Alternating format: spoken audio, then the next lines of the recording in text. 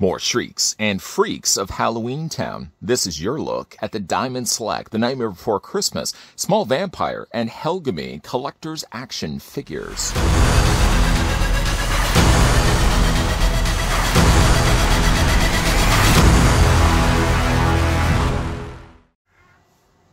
The residents of Halloween Town are the monsters and creatures who make Halloween possible, and they love nothing more than to frighten people year after year. But when Jack Skellington has an idea to take over Christmas, the four vampire brothers and the two witch sisters go along with his wild plan, and they do their best to recreate the holiday. This deluxe action figure of the small vampire and Helgamine from Tim Burton's Nightmare Before Christmas come with an umbrella, a broom, and a piece of the Halloween Town guillotine. Collect all six parts from series 7 and 8.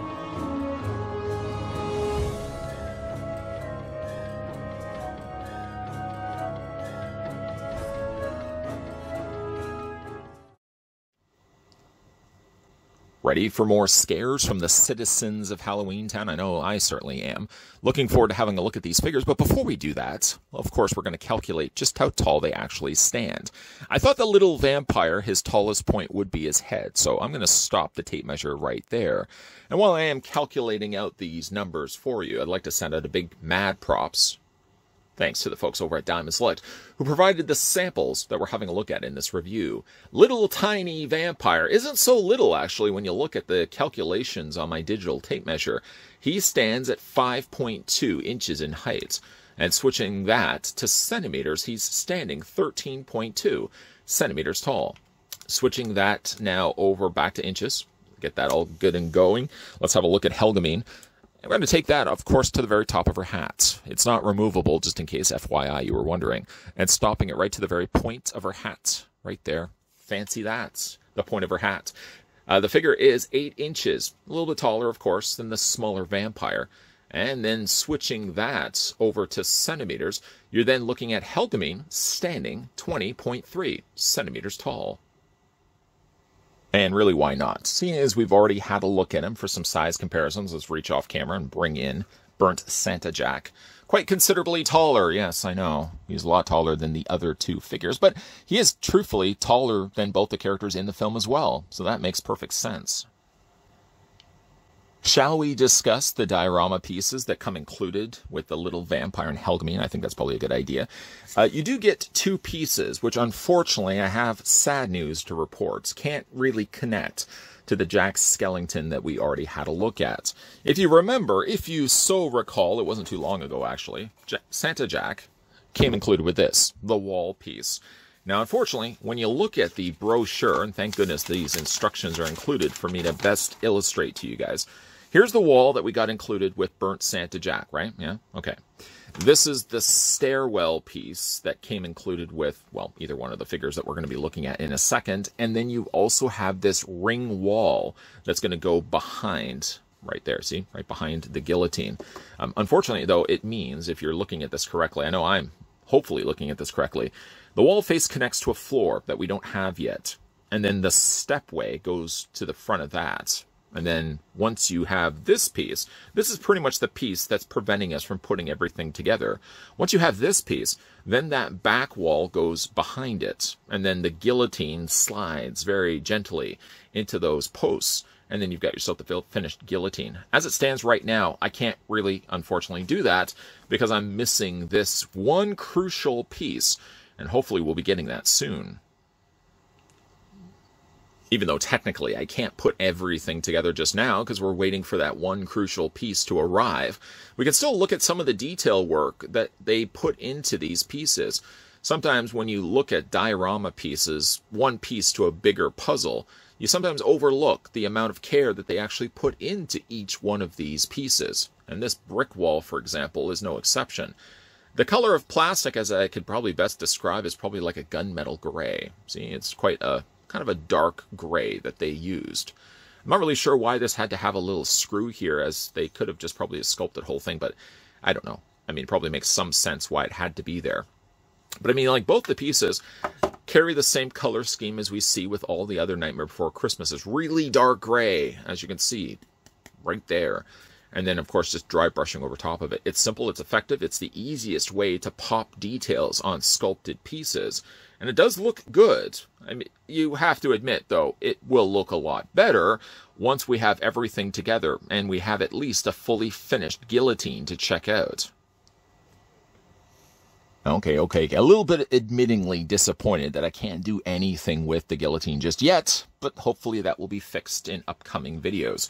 At least it can be said for both Helgamine and the small vampire that they do come included with accessories. Burnt Santa Jack didn't come with really much other than his display stand. First, we'll have a look at the little tiny umbrella for the little tiny vampire. I don't know if I would call that an umbrella. Would you call that a parasol? Do people even call these things parasols anymore? Is there a difference between an umbrella and a parasol? Somebody who is extensively knowledgeable on both the topics of umbrellas and parasols will let me know down below in the comment section. Most people probably just don't care.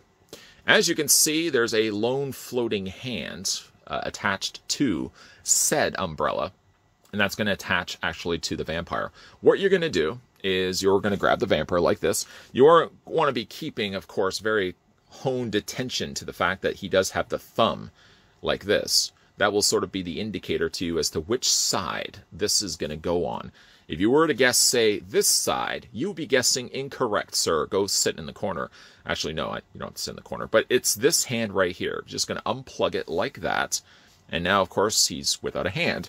What you're then going to do is going to go ahead and just attach the parasol. I'm going to go with parasol. I, I don't use parasol enough in everyday life I've never struck struck up a conversation with a stranger or people I know and uttered the terms parasol, so I'm going to use parasol for the rest of this. And as you can see, it just attaches it in his hand. Very easily, very simple. You don't have to worry that you're going to be fighting with pegs and these breaking off. They're very thick pegs, despite for the fact that he's got very small looking hands. And there's the parasol in the vampire's hand. Looks good. I'm probably going to be likely displaying it with the umbrella. All right, we'll jump back to umbrella. I think it just looks a lot nicer, and it makes him look a little bit more finished. Speaking of finished, what a nice finished looking little vampire that we've gotten here. He is small, but don't let the size fool you. There's a fair bit of detail actually that they put into even like his face, for example. You can see even like those little tiny fangers all done in a dark, almost mustard yellow. He's got a big open mouth, big big smile on his face. Can't see any peepers on this particular vampire. They're gone. They're just absent. Instead, in favor of that, kind of more like a bluish silver that they used for the actual eyeballs right there and there. I don't know why I had to point out where those eyeballs are. You probably can see them. And they're outlined here in a more kind of an ice blue. Speaking of blue, as you can see, his skin is quite rather blue, both his hands and his face and it definitely does look good. There's the back of it, just in case you're curious as to what it looks like on the back. I don't know why you would want to see the back of it, but does have his high collar. He does have wings spread, as you can see. Parts of his cape peaked in little points down below there. Uh, they're not too sharp, although I have to admit, just between you and me, don't tell anybody else. But when I was picking this guy up, I picked him up. I don't know why I picked him up like this, like I was trying to carry a small child. But I did run my fingers along the bottom, and ouch, I did notice there was a little bit of a prick to them. Uh, not something, of course, you really want to be super careful about, but I'm just pointing it out. I'm oh, I see what I did there. I'm pointing it out. Uh, nice detail done to it, where if you look at it, it kind of does look a little bit like it's sculpted clay. Really, really interesting. I mean, sometimes, like, you overlook details done to surfaces on figures. It's only really when you stop for a second just admire the work that they actually put into this. I mean, like even the backs of the fins, the little little points that we just talked about before, there's like a fair bit of texturing done to them. That's really nice. On the underside of the vampire, I have to report there's nothing in there. It's just like a bullhorn, for example. Somebody could be yelling from the top of the mountain, Ricola! Anybody remember that commercial? But there's no feet, actually. It's just completely empty. You could turn it technically into a finger puppet, I suppose, if you wanted to. But uh, I mean, it doesn't really necessarily have to have feet. The fact that he doesn't even have feet, I mean, he serves fine the purpose of just being able to stand wherever you decide to put him for yourself. I don't feel the need that, I'm not disappointed that there's nothing underneath there, and that's perfectly fine for me. Articulation on this guy. His head rotates back and forth. It moves up, it moves down. There's no articulation to report, unfortunately, in his mouth. Wings, his arms, I suppose, if you want, technically count them as wings, move back and forth. They move in and out. It's basically a little ball joint working behind the scenes inside there. And then he has articulation in the hands. That's the case on both sides as well. And then for, like I said, the underside, there's not a whole lot happening for the mini vampire, but still a decent looking figure when it's all said and done. As for Helgamine, she does come with her also her own accessory. She comes with a little broom. The broom itself doesn't really technically fit into her hand. Let me just show you what's going on here. Uh, she sort of has these little slivers for fingers, and you sort of just take the broom and rest it inside her thumb and her fingers. And of course, if you're resting it on the ground, like this, for example. I'm just using my psychic abilities to do this right now. I'm, no, I'm not actually just resting it on her dress. But that's enough just to keep it in place. She doesn't sort of grip it as much as she just sort of, I don't know, palms it, palms the broom. Uh, no, she can't ride it, obviously, because, well, she doesn't have feet either on the underside of her dress. And again, not disappointed at the fact that she doesn't have feet because, again, you're only going to be looking at the figure like this. Who in their right mind is going to be looking at the figure like this? Sickos. That's what I would say. Sickos.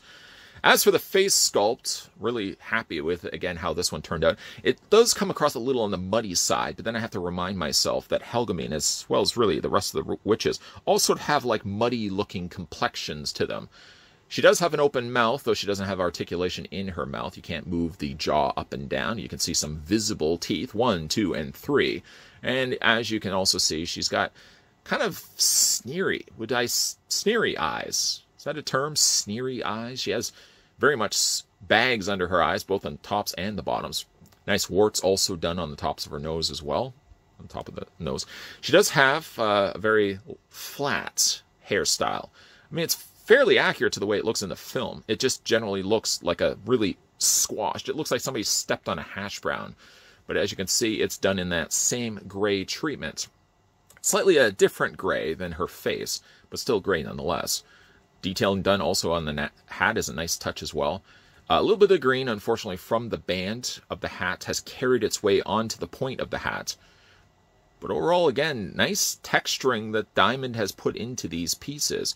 Really good. Just, I mean, to look at that, just marvel that some artist would have taken the time and put like little wrinkles on there. It almost kind of has like an elephant hide to it. Uh, as I mentioned, though, the hat isn't removable, so you can't take that off or anything like that. She's a very spindly looking character, very narrow. Again, what's with these narrow waistlines? I was just talking about that with Jack Skellington, and yet she uh, also has the same thing happening. I don't even, I wouldn't even want to guess what size dress that would be. I guess it would be varying from the top to the bottom. It has stripes in her sleeves, very narrow fingers, as I mentioned already. As you can see, each of the individual fingernails done in a darker gray. That's a nice touch as well. Articulation on Helgamine, her head rotates, well, it, let me see if I can get in there. Her head rotates back and forth. But because her hair is a flat piece, it does limit a little bit what you can actually do. The arms hinge out a little bit, in and out, and you can rotate them back and forth. She does have rotation in her hands. She has rotation not in one point, but two points, right at the top, right there and then right here in her lower area. I guess right around her thigh or waist section, right here. She has waist articulation. And like I said, she doesn't have anything on the underside. There's no feet, there's no legs, there's nothing that you really have to struggle and move and kind of align so that she stands perfectly fine. Because both the characters have literally no feet, nothing to stand them up other than their cloak. Would you call it a cloak? Vampire cloak and for the skirt, both the vampire, the small vampire, and Helgamine stand perfectly fine. Suppose I might be a little disappointed that I couldn't make any progress putting together the guillotine diorama, but when it's all said and done, the whole point of putting together a puzzle is there's a fair bit of journey that's involved. You don't want to come into the room and somebody's already put all the pieces together except for those crucial pieces to finish off the puzzle. You put them in and then shout, hooray, I put the puzzle together. You didn't do anything. You just finished somebody else's work. So this now has led me to a quest that I can start to finish off the diorama of the guillotine because it does look pretty good, at least in the images. of course, what I've got to work with right now is squat. But like I said, I'm determined between this wave and the next wave to put everything together and finally have a fully visible, fully displayable looking guillotine, which I think is going to look really nice. As for the figures themselves, the small vampire and Helgamine, you sort of get one from both. You get one vampire, you get one witch.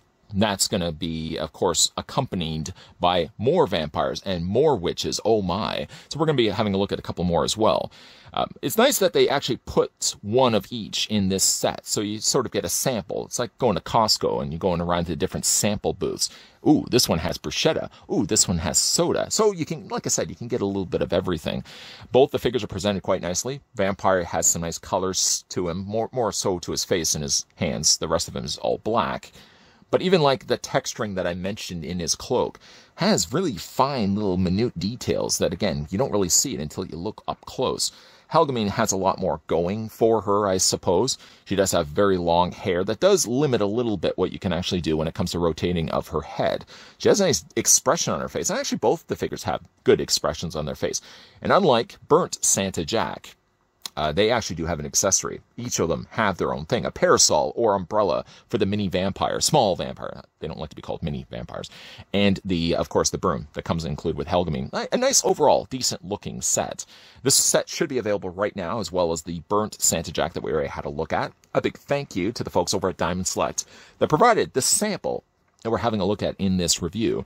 If you picked up this one for yourself, let me know down below in the comments section, or based on this review, what do you guys think of the small vampire not, don't call them mini vampire. They don't like to be called mini vampires. Small vampire and Helgamine.